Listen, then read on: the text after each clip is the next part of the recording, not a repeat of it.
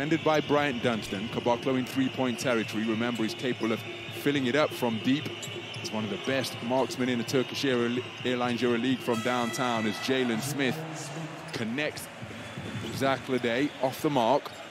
Lundberg.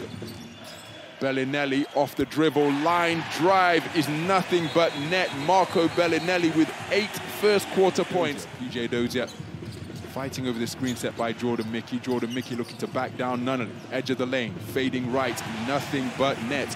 Jordan Mickey with his first field goal attempt of the night by Kevin Punter was equally impressive. Wide open Jordan Mickey and there's a breakdown in communication. So Kaminsky recovers the loose ball. Smailagic drives, goes up strong and jams it home with a Statue of Liberty flush. Terrific take from the perimeter to the paint and finish with the finger roll. Six points on the night for him. So the three ball drilled home.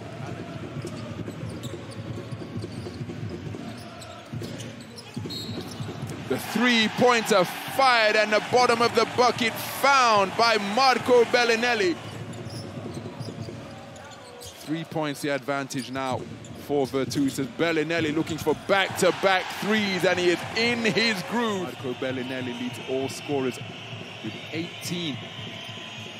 PJ Dozier hangs it up for Alen Smailagic who rocks the rim once again to complete that alley-oop right on the head of Bryant Dunston. Basket, the open man is found off the pick and roll.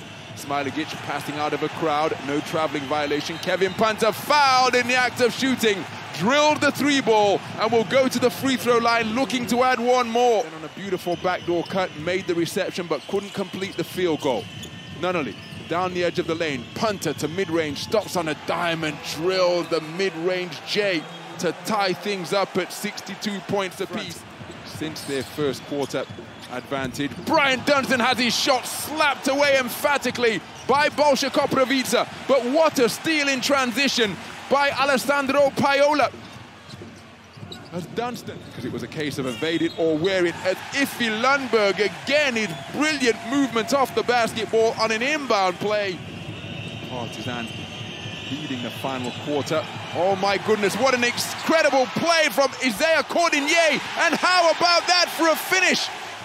Partizan persisting with their 2-3 matchup zone. Can Virtus bust it?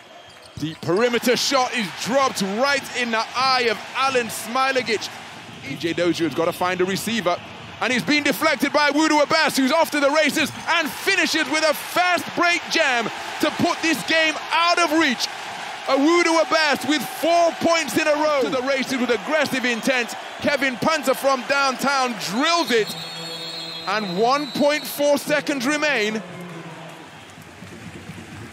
The man who's iced it from 15 feet away. Iffe Lundberg blocking the three-quarter court heave. A terrific encounter between two teams that clearly enjoy home cooking. And it is Virtus Segafredo Bologna who extend their remarkable run on home floor. They bring their two-game losing streak to an end. I just try to play with a lot of confidence. I believe in my abilities. Thank God my teammates believe in me, the coaching staff believe in me. I just try to do whatever I can to help the team win, and in those situations, I'm comfortable with the ball, and they have so much confidence in me, so it's easy for me to, to just go out there and play.